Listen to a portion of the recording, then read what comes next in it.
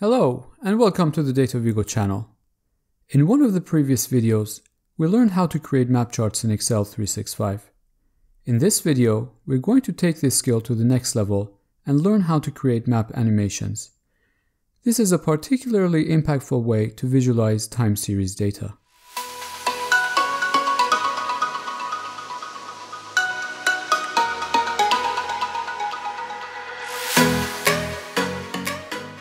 So first, we'll discuss data preparation. Then we will learn how to write a simple code in Visual Basic for applications. And finally, we will learn how to create an animation using an external tool. So basically what we want to do is to use Visual Basic application to automatically create a number of map charts which will be our frames and then use an external tool to stitch these frames and create our animation.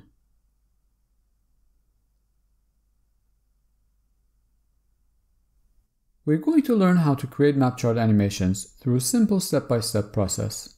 The example that I've chosen here is the evolution of political divides in the US by visualizing every US election results in the last 100 years. Basically, what we want to do is to visualize the party, Democrat, Republican, or other independent party, who won the presidential elections in different states in the last 100 years. I managed to obtain the data that we need from Wikipedia. I performed some post-processing which included removing election results before 1920 and replacing the letters D and R with Democrat and Republican. For simplicity, I also change anything other than D or R to Other. You can find the Wikipedia page link as well as the process data from the links in the description. The first thing that we want to do is to put the data in a table. To do this, you simply select all the data, then go to the Insert menu, click on Table, and confirm the range.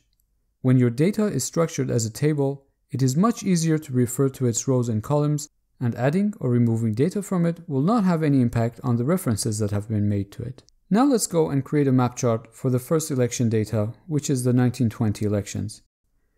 So I select the first two columns, and just as we learned in the previous video, from the Insert menu, select Maps. And here we have a map chart. To create an animation, we need to create a map chart for every election year, and then export it as a picture and stitch all the pictures together. I can simply export this chart as a picture by right-clicking on it and clicking on Save as Picture. And if I do this, this picture will be the first frame of my animation. Here in this example, we have 26 elections, so repeating this task might not be that much of an effort. However, in many cases, where we're dealing with high resolution time series, we might have hundreds or thousands of data points and it will be much easier if we have a program to perform this automatically for us. Let's go back to editing our initial map.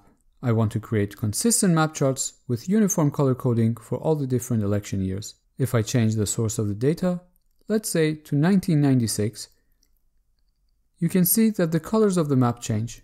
To overcome this problem, I'm going to add three dummy rows to the table and populate them with Republican, Democrat, and other. This is to make sure that we have these three categories in all the years in this order. This is a necessary step for keeping the colors of the map chart the same. So I insert three rows above the first state, which is Alabama. I'm going to give each a name and then just add Republican, Democrat, and other in these three rows.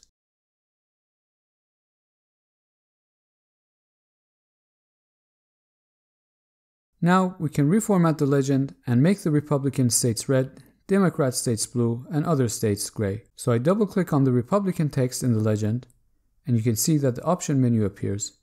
All I want to do is to change the color from automatic to red. So I select solid fill and choose the red as the color. And I can repeat the same steps for Democrat and other states. Okay, so now we have a nice chart with appropriate colors. It is best to add a suitable chart title, but we will do this in the next stage and in our VBA code. We are going to use Visual Basic for Applications, or VBA, to automatically create map charts for each election year and export the charts as a picture and save them in a folder. In summary, these are the main steps that we need to consider in the code. For each election year, we first need to update the data series of the map chart that we created and make sure that the data for the year is chosen. Then we need to update the chart's title and finally export the chart as a picture which can be a PNG, JPEG or other picture formats that Excel supports. To create a VBA code, you first need to open the VBA editor. If you already have a VBA code or macro in the active spreadsheet, you can open the editor by going to the View menu, click on View Macros, simply selecting one of the macros and clicking on Edit. If you don't have any macros, then you need to open the editor directly by its shortcut, which is Alt F11 in PC and Function plus Option plus F11 in Mac. Since you may be new to VBA, I will try my best to explain the steps with some level of detail so you can better understand the steps and how the code works. My goal is to write a generalizable code so I could apply it to any dataset or table in the future. Okay, now I have my Excel spreadsheet and the VBA editor next to each other. The first step is to create a subfunction and give it a name. I'm going to go with mapchartplot. So I type sub mapchartplot and you can see that the function is closed with an automatic end sub. The next thing we need to do is to declare our objects and variables using dim statements. We have a table, which is from the list object type, and a chart, which is a chart object. Here, the TBL and obchart are just random variable names that I've chosen. To make the code extendable to other tables and datasets, we will create two variables for storing the names of our target table and charts. Here we need to find the name that Excel has given to our objects and add it to these lines. To find the table name, simply go to the Formulas menu and select Define Name. All your tables will be in this Name Manager. So here, my table is named Table 1. I can edit the name if I want, but I will keep it as it is. To find the name of the chart, select it and look at the left of the formula bar to find its name. So my chart is called chart 1. I'm going to add these names to the last line of codes that we had. The way we're writing this code means that if in the future we want to run the code for a different data set and a different chart, which doesn't necessarily have to be a map chart, all I need to do is to use the names of the table and chart here and add them in these two lines and run the code. Now we need to set our TBL and obchart objects that we defined to the target table and chart.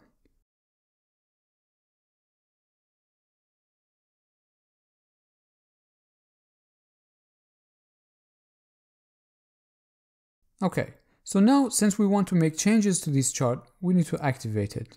This is simply done by adding this line. The next step is to store the header row of the table in a vector variable. This will make it easier to update the chart's title.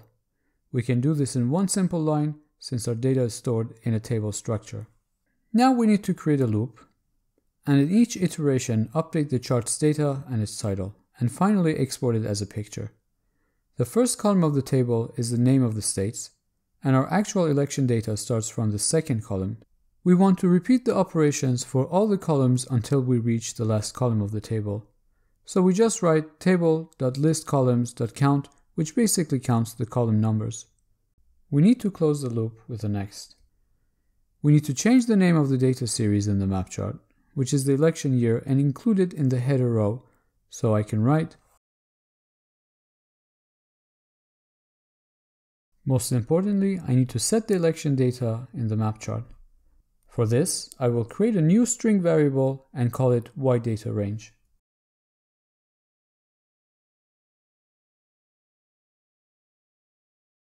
The address at the end gives the range as a string. Now I can replace the data in the chart with what is in the new variable. I want the title of each chart to include the text US election results, followed by the election year, which can be found in our header row. So I can write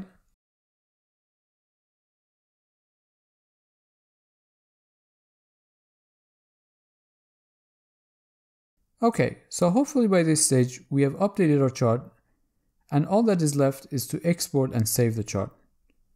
So I need a name for the exported picture and I want this to have some constant like chart followed by the election year and this will make it easier for us to find this picture. Now, just to make sure that the code works correctly, we will make the chart active again. And finally, write the command for exporting charts.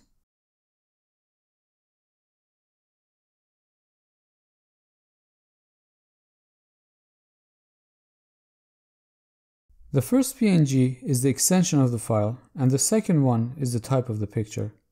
We can go with JPEG or GIF or other formats, but PNG is good enough for our animations. I'm writing this code on a Mac computer, and here VBA has a bug and gives a permission denied error if I try to add a path for the folder that I want the pictures to be saved in. So I'm not going to bother with the path, and will let VBA to save the file in whatever folder it has access to, and will try to locate this folder by a simple search. If you're a Windows user, you can add the folder path or use the same folder where your main Excel file is to save the exported pictures.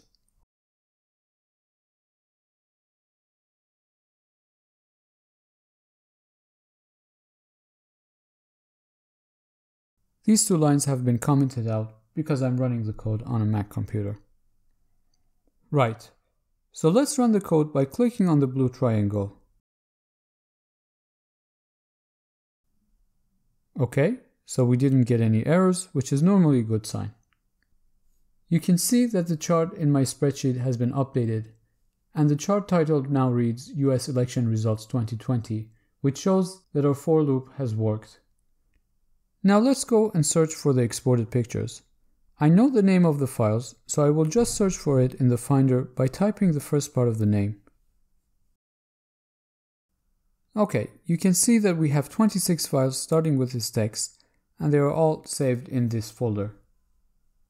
I'm going to move these files to a location so that I can find them easier.